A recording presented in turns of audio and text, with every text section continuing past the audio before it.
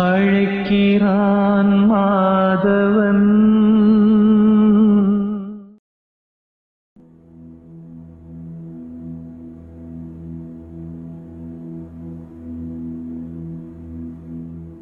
எல்லோருக்கும் வணக்கம்.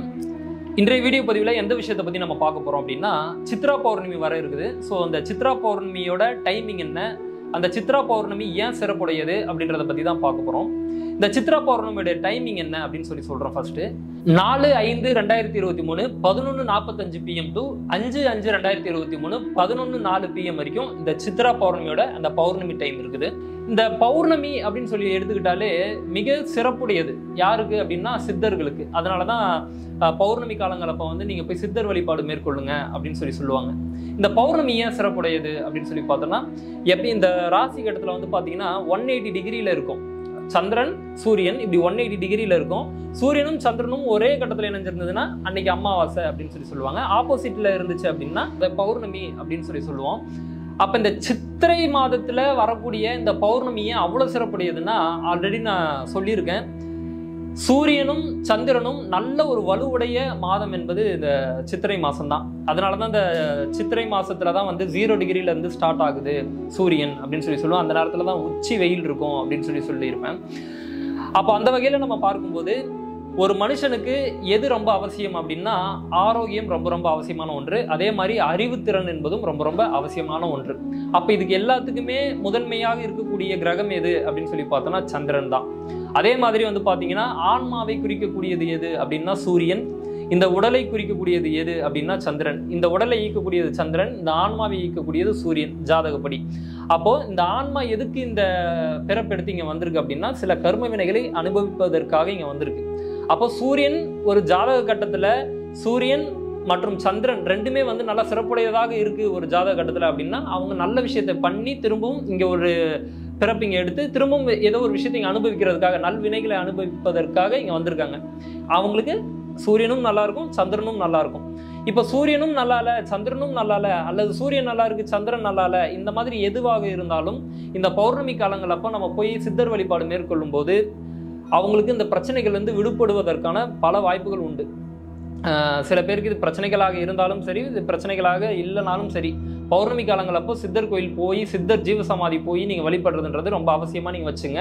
ரொம்ப இன்னும் மெயினாக சொல்லக்கூடிய ஒரு விஷயம் என்னென்னா அந்த நேரத்தில் சந்திரனை சுட்டக்கூடிய காரகத்துவம் எதுவோ அந்த விஷயத்தை நீங்கள் மற்றவர்களுக்கு கொடுக்கும்போது தானமாக கொடுக்கும்போது உங்களோட கரும வினைகள் அழிவதற்கான ஒரு வாய்ப்பு உண்டு.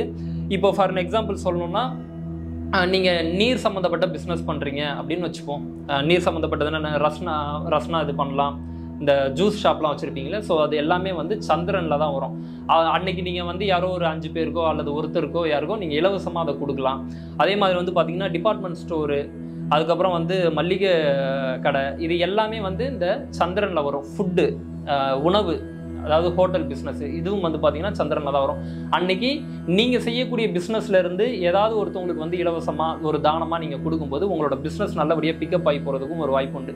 ஆல்ரெடி நான் சொல்லியிருக்கேன் ஒருத்தவங்களுக்கு பிஸ்னஸ் நல்லபடியாக இயங்கணும் அப்படின்னா அதுக்கு ரொம்ப ரொம்ப அவசியமான ஒன்று சந்திரன் அப்படின்னு சொல்லியிருக்கேன். ஏன்னா ஒரு மனிதனுக்கு மனம் நல்லபடியாக செயல்பட்டுருச்சு இந்த உடல் நல்லபடியாக இயங்க ஆரம்பிச்சிருச்சுனாலே அவன் நல்லபடியாக யோசிச்சு அடுத்தடுத்த கட்டத்துக்கு போவான்.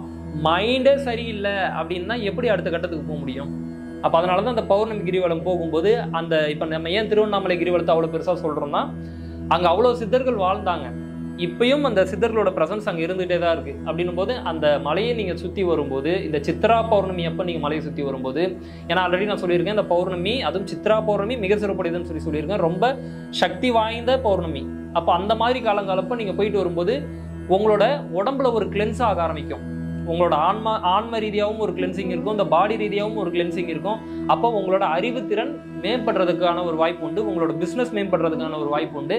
இந்த சந்திரன் சம்பந்தப்பட்ட எந்த ஒரு பிரச்சனைகளாக இருந்தாலும் உங்களோட ஜாதக கட்டத்தில் சரி செய்யப்படும். அதே மாதிரி சூரியன் சம்பந்தப்பட்ட எந்த ஒரு பிரச்சனைகள் இருந்தாலும் இந்த சித்ரா பௌர்ணமி அன்னைக்கு கிரிவலம் போனீங்கன்னா அதுவும் சரி செய்யப்படும். அப்போ நீங்க இன்னொரு விஷயம் இப்போ நான் இல்லைங்க இந்த பிஸ்னஸ்லலாம் இல்லை. எனக்கு ஏதாவது ஒரு விஷயத்த சொல்லுங்க அப்படின்னு சொல்லி கேட்டிங்கன்னா பச்சரிசி எடுத்துங்க பச்சரிசி யாருக்கா தானமாக வழங்குங்க.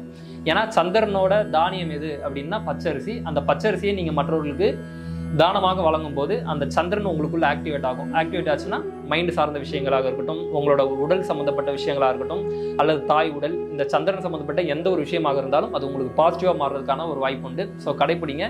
நிச்சயமா வாழ்க்கையில மாற்றங்கள் ஏற்படும். அதே மாதிரி ஜீவசமாதி வழிபாடு மேற்கொள்ளுங்க. நிச்சயமாக உங்களோட வாழ்க்கையில மிகப்பெரிய ஒரு மாற்றங்களை கொண்டு வரும். நீங்க சென்னை சம்மந்தப்படுத்தின மக்களா இருக்கிறீங்க அப்படின்னா ஸ்ரீமத் சிதம்பரம் பெரிய சுவாமிகள் வேளச்சேரியில் இருக்கு. குருநானக் காலேஜுக்கு பக்கத்தில் இருக்கு.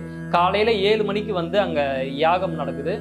ஒரு பத்தரை மணிக்கு வந்து பாத்தீங்கன்னா தீப ஆராதனை அங்க நடக்குது. பன்னெண்டு மணிக்கு வந்து அன்னதானம் நடக்குது. அந்த அன்னதானத்துல நீங்க கலந்துங்க அந்த தீப ஆராதனையில கலந்துங்க காலையில யாகம் நடக்குது அதுலயும் கலந்துங்க அந்த விஷயத்துல கலந்துக்கிறது மட்டும் இல்லாம அன்னைக்கு அந்த உணவளிக்கக்கூடிய அந்த நேரத்துல நீங்க அங்க போய் அவங்களுக்கு ஹெல்ப் பண்ணீங்கன்னா இன்னும் சிறப்பு. ஏன்னா நம்மனால தான் ஒருத்தவங்களுக்கு போய் கொடுக்க முடியல. அட்லீஸ்ட் அந்த கொடுக்கக்கூடிய அந்த தன்மையில் இருக்கிறவங்க அந்த நேரத்தை பயன்படுத்தி நீங்கள் மற்றவர்களுக்கு உணவளிக்கும் போது அதை போய் சர்வ் பண்ணுங்க அப்படின்னு சொல்லி சொல்கிறேன் போய் ஹெல்ப் பண்ணுங்க அப்படின்னு சொல்லி சொல்கிறேன் ஒரு வாலண்டியராக நீங்கள் போய் அன்னைக்கு அங்கே வரக்கூடிய மக்களுக்கு நீங்கள் உணவளிக்கிறீங்க அப்படின்னா அது இன்னும் மிகப்பெரிய உங்களுக்கு ஒரு மாற்றத்தை கொண்டு வரும். ஏன்னா கர்ம யோகம் அப்படின்னு சொல்லி சொல்லுவாங்க. செயல்களே வந்து யோகமாக பண்ணக்கூடியது. அன்னைக்கு போய் அங்கே நடக்கக்கூடிய அன்னதானத்தில் கலந்துக்கிட்டு மற்றவங்களுக்கு உணவளிங்க. நிச்சயமாக வாழ்க்கையில் மாற்றம் ஏற்படும். அஞ்சாம் தேதி அஞ்சாவது மாதம் ரெண்டாயிரத்தி இருபத்தி மூணு. மறந்துடாதீங்க.